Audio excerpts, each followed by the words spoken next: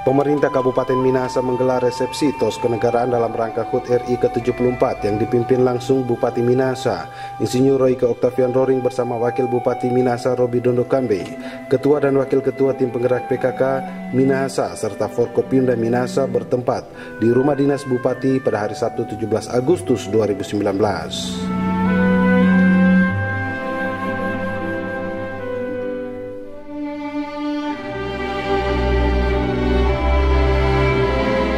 Acara ini didahului dengan laporan Ketua Panitia HUT RI ke-74 Asisten 1 Dr. Deni Mangala dan dilanjutkan dengan pemotongan kue ulang tahun yang sudah terpampang dihiasi nuansa merah putih.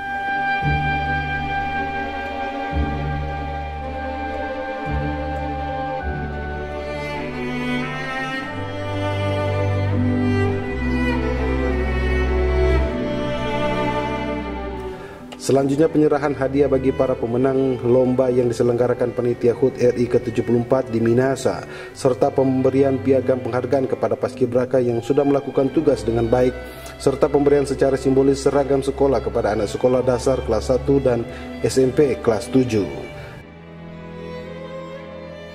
Dalam sambutannya Bupati Minahasa menyampaikan selamat ulang tahun ke-74 Proklamasi Kemerdekaan Republik Indonesia tahun 2019.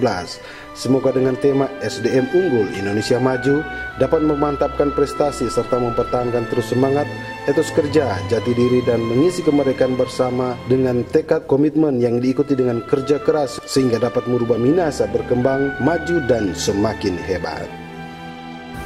Acara ini juga merupakan bagian penting dari rangkaian kegiatan peringatan Hari Ulang Tahun Republik Indonesia ke-74 tahun 2019. Karena kegiatan ini merupakan ucapan syukur kita kepada Tuhan Yang Maha Kuasa atas kebebasan bangsa Indonesia dari belenggu penjajahan selama berabad-abad lamanya yang telah diproklamirkan lewat proklamator kita Bapak Soekarno dan Hatta.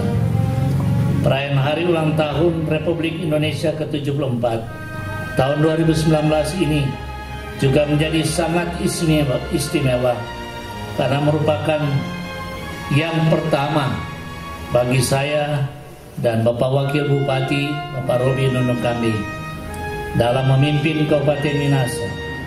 Momentum bersejarah ini sekaligus juga mengingatkan kita untuk memberikan penghargaan dan terima kasih kepada mereka-mereka yang telah berjuang dan mengabdi serta memberikan kontribusi bagi pembangunan di daerah ini seperti kutipan proklamator Indonesia Bung Karno.